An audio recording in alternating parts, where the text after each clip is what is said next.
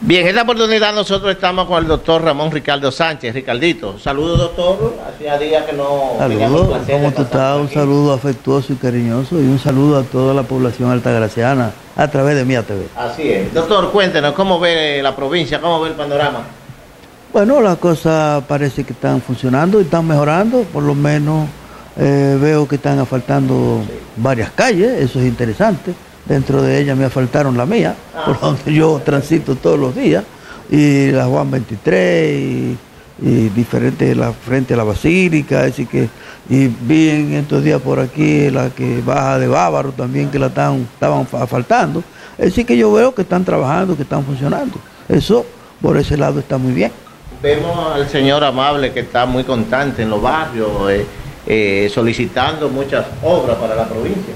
Bueno, tú sabes que Don Amable es un hombre de trabajo incansable. Eso es lo que le gusta trabajar, le gusta resolver. Eh, me vive llamando frecuentemente para resolverle problemas a pacientes y a gente que los necesita. Y eso hay que admirarlo. Yo creo que es un hombre que vale la pena eh, que lo mantengamos siempre en la palestra, porque gente así es que ponen a, los pueblos en salsa, ¿no? Que, que, que necesita gente que se preocupe porque las cosas se funcionen y porque se resuelvan los problemas. Yo creo que si algún día eh, se le da la oportunidad de que él tenga un poder de verdad en, cualquier gobierno, las cosas van a mejorar sustancialmente.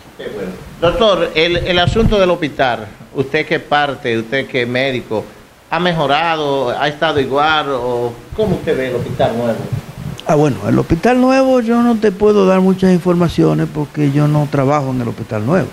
Es decir, yo eh, solamente eh, oigo a los pacientes que a veces tienen, eh, tienen quejas porque no les resuelven los problemas tan frecuentes como quisieran.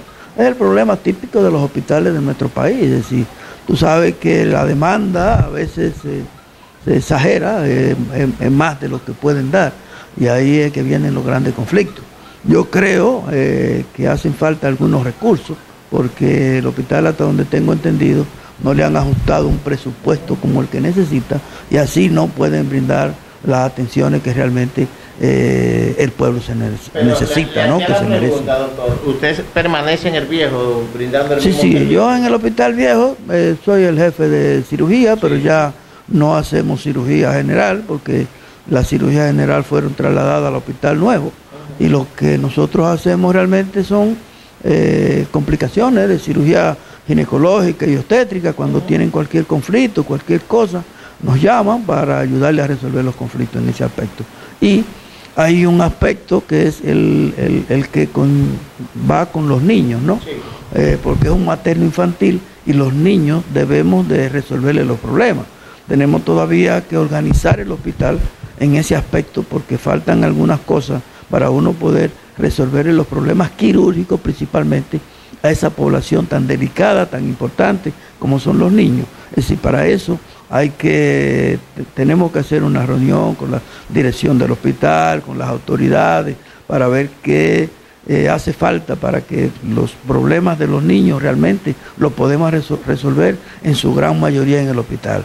Ahí tendríamos también que nombrar un cirujano pediátrico que ya hicimos la recomendación y todavía no ha salido, pero yo creo que en los próximos días saldrá. Es decir, son cosas que se van consiguiendo con el tiempo para que las cosas vayan mejorando en la medida que vayan resolviendo los problemas.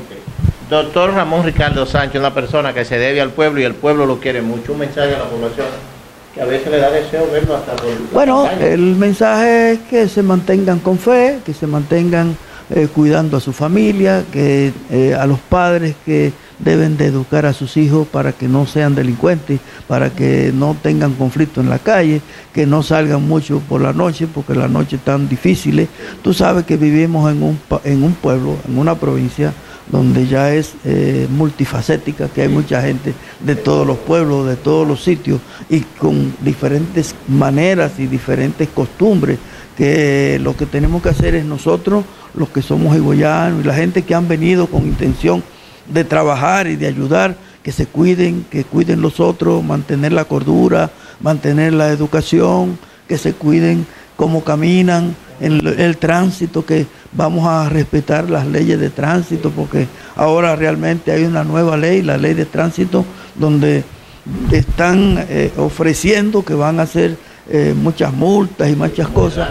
entonces yo creo que debemos de comenzar a educarnos, a hacer las cosas bien hechas, a respetar los semáforos. No es por el semáforo ni por la luz roja, lo que pasa es que cuando uno tiene una luz verde, es, tú eres que tiene derecho a pasar. El que tiene la luz roja debe de pararse para que el que tenga la luz verde pueda pasar sin problema. Es decir, hay muchas cosas que se pueden hacer que yo creo que la ciudadanía puede poner un granito de arena para que las cosas vayan mejorando en nuestro país.